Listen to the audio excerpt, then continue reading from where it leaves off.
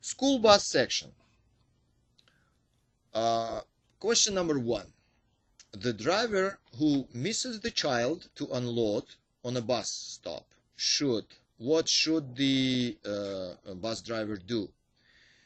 You need to radio the dispatcher for direction and follow the local procedure. If you forget to unload the child, if you miss the child, uh, I mean, if the child is missed to unload and report this problem to you, you need to radio the dispatcher first for direction and then follow the local procedure. You don't uh, drive back, you don't stop, you don't unload. Security, uh, safety is, is first. All right, you need to follow the local procedure. Question number two. Which of the following statements about bus evacuation procedure is true? Uh, evacuation procedure is uh, also very important for you to know how to do it, when you do it, and uh, what is important for you to remember, if time allows, notify the dispatcher about evacuation location, conditions, and type of assistance needed. Assistance needed. So again, you uh, if only if time allows you need to notify the dispatcher about uh, location condition and what help you need okay? That's the correct answer notify the dispatcher.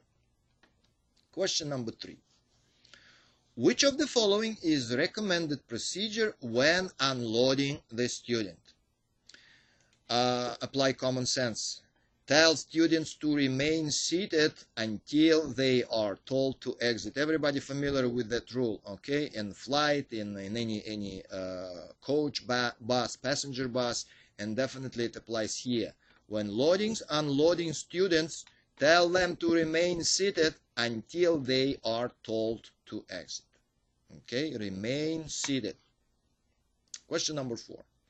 Most dangerous time most dangerous time during the school bus ride is when loading and unloading. This is statistically most dangerous time. Most of the students get injured or killed during exactly loading and unloading procedure. Okay, so most dangerous time. Question number five. When stopping on a railroad crossing, driver must stop no closer than 15 feet. You should be familiar with uh, this answer. Uh, you should know that uh, from general knowledge section. That's how you need to stop before railroad crossing. 15 feet, no closer than 15 feet. Question number six. If students must cross the street, when they get off the bus, which statement is true.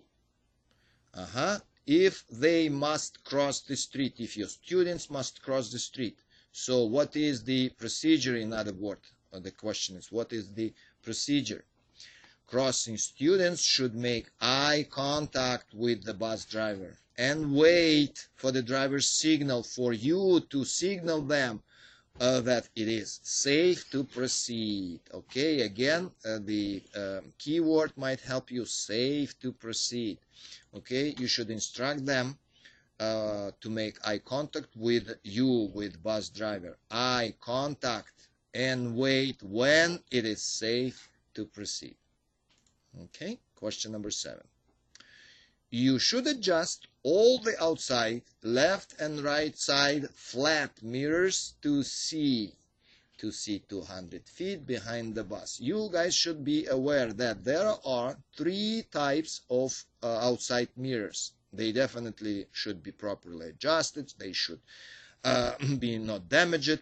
And there are three types of them. Flat mirrors, convex mirrors, crossover mirrors. So all the time pay attention what mirrors you are asked. Flat mirrors should see, you should be able to see 200 feet behind the bus in them, in flat mirrors. Okay? Flat mirrors, 200 feet. Question number eight.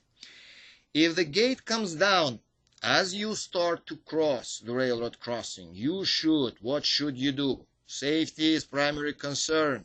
You start crossing, gate comes down. What should you do? Drive through the gate. Break it if you need. drive through the gate, but uh, well, never risk to stall on the tracks. Okay? If it starts down and you already starts moving, well, drive through the gate.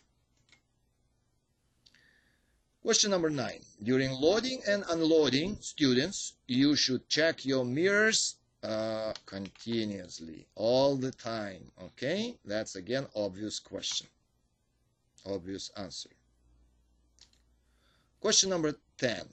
Which of the following you should do when driving the school bus in high wind?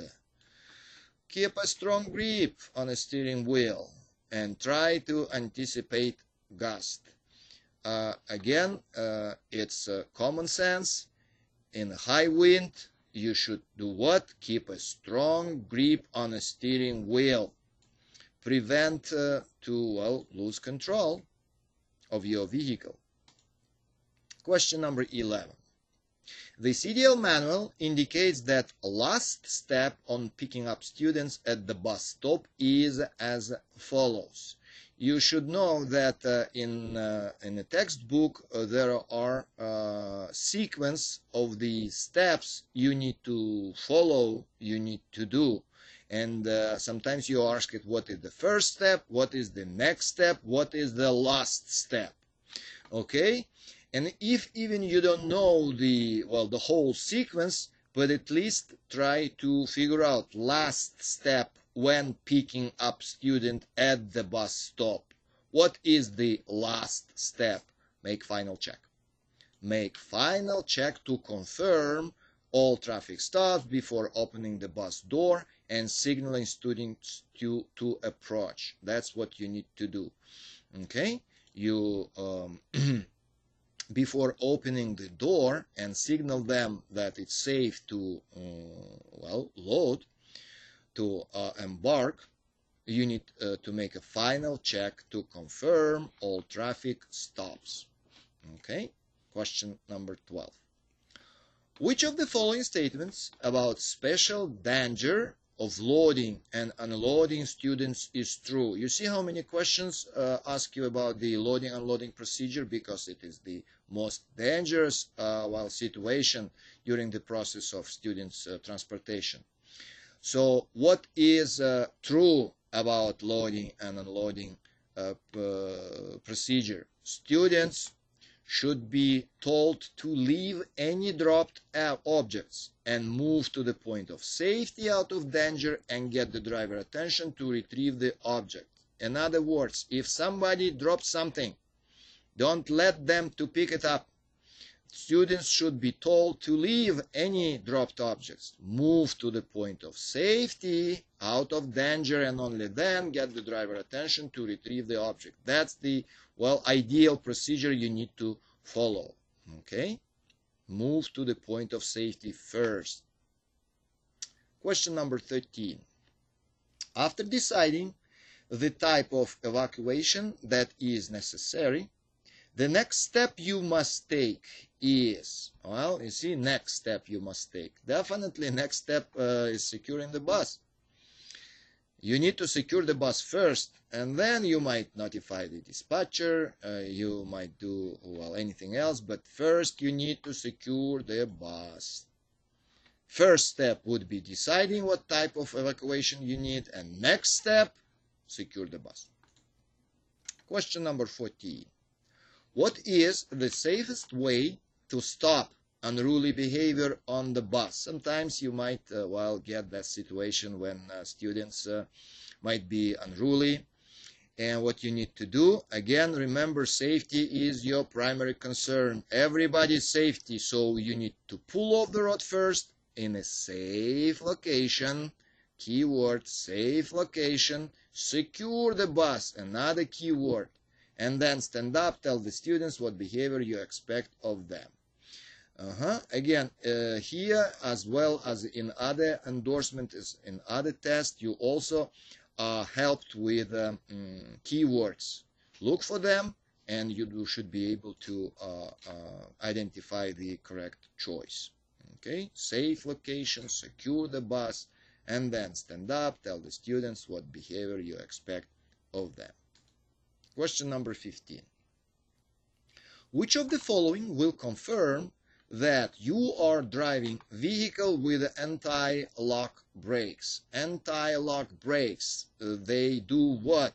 They prevent uh, locking and uh, uh, how you know that you have that kind of brakes ABS malfunction lamp you have yellow ABS malfunction lamp on the instrument panel uh, will light when you start the engine mm -hmm. and that's how you know that your bus is equipped with uh, anti-lock brakes look for abbreviation you ask it about anti-lock another means to uh, identify it is ABS malfunction lamp. Another question about anti-lock brakes, a really short one. Anti-lock brakes, they do what? We already uh, discussed this. They keep your wheels, your bus wheels, from locking, all right? Lock, locking. They keep your wheels from locking during the uh, hard brake application. Mm -hmm. In emergency situation, when you need to apply your brake hard, they prevent, uh, well, your wheels, your bus wheels from locking. Question number 17. At bus stops where more than one child is unloaded, okay, general situation, more than one child is unloaded, which procedure most likely prevents an unloading obstacle? Well, more than one child, you need to count them. Uh-huh. Right answer is A. The driver counts the students. If there are more than one, you need to count them to make sure how many of them, well, will be unloaded or loaded. Counts the students as they disembark before moving. All right? Good. Question number 18. Which of the following is a reason to evacuate uh, the school bus? Well, in the textbook you have many reasons and one of them is and most important, most dangerous one uh, when the bus is stalled on a railroad tracks. Uh, uh, if there is no train inside, it's still a dangerous situation. It's a, a reason to evacuate the school bus, to move children uh, from the bus away from the rail tracks. All right? when it's stalled on a railroad tracks. Question number 19. The blind spot behind the bus could extend to how many feet? And textbook tells us the blind spots could uh, mm, extend to 400 feet. Okay? 400 feet. That's how far your blind spots might be. And that's why you should pay well, particular attention to all of your outside mirrors. Question number 20. Which of the following statements best explains what to do when a school bus stalled on a track at a railroad crossing? Uh -huh. We have agreed already on the previous questions, two questions ago, that this is the situation which requires evacuation. In other words, you are asked what, uh, well, how you evacuate and the right answer is B. You, uh, as a driver, should evacuate the bus and move students away from the tracks, away on the angle toward the oncoming train. Why uh, the toward the oncoming train? Just to see when it, uh, uh where it is. Okay, away from the track, away and toward the oncoming train. Question number 21. You should conduct a post-trip inspection. Uh, complete the sentence. Uh, you should walk through the bus and around the bus. That's how you do, how you conduct a post-trip inspection. You need to check everything is, uh, well, uh, mm, nothing is uh, forgotten, left. So you should walk through the bus and around the bus, through and around, through and around. Question number 22. If you are loading students on a route and cannot account them, what you need to do? Golden rule, secure the bus. Take the key to prevent the bus, you know, uh, starting. And check around and underneath the bus. Safety is primary concern. That's why if you cannot account all the students, if you're not sure all of them are in the bus, stop, secure, take the key with you, and then check around and underneath the bus. All right. Question number 23. Passive railroad crossing, what it is? This is the type of crossing uh, which does not have any type of traffic control device. No traffic light, no gates, no anything. All right? That's uh, uh, railway is called passive. Does not have any type of traffic control device. Question number 24 you should adjust all the outside left and right side convex mirrors. Now you are asked about the convex mirrors. Uh, let me remind you, you have three types of outside mirrors. Flat, we discussed them.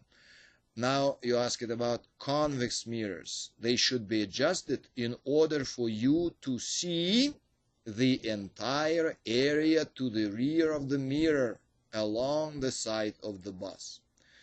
Okay? Entire area. Okay? As much as possible entire area to the rear of the mirror along the side of the bus. Question number 25 when approaching the stop you should activate alternating flashing amber lights within how many feet before the stop 200 feet remember 200 feet there will be more than one such a question you need to remember. Uh, not 100, not 300. Between them, 200 feet. Question number 26. What is the next step after securing the bus when you have unruly child on board? Again, guys, you asked about the sequence of the events. You might not remember well, all the sequence, but again, things think logically. Next step after securing, aha, you already secured the bus. Now what you need to do? Now you need to stand up and speak respectfully to the offender. If a change seating is needed, have the students move to seat near you. Okay? After securing, next step would be stand up and talk to offender. Question number 27. You should adjust all the outside left and right side crossover mirror. Now you are asked about the third type of outside mirrors, crossover, and uh, they should be adjusted in order for you to see right and left front tires, front tires touching the ground. That's what crossover mirrors are. They are um, they allow you to see what's going on uh, while in front of your of your bus. Uh-huh, at the front bumper area, front tires touching the ground, front tires, front tires. That's what crossover mirrors are for. Question number 28. Overhead inside mirror uh, is used to, that's easy, to see all of the students. That's what inside mirror is for, to observe them, to monitor them, to see all of the students inside of your bus. Question number 29. You should activate hazard lights within approximately how many feet before railroad crossing? 200 feet. 200 feet, that's when you need to activate your uh, hazard lights. Question number 30. School bus is one of the safest mean, means of transportation. What two key factors contribute to this impressive safety record? And uh, those are vehicles and drivers. Uh, vehicles and drivers are two key factors contributing to impressive safety record right? Safe vehicles and safe drivers. Vehicles and drivers. Police, road condition, anything else have nothing to do with the safety record. Vehicles and drivers. All right? Good.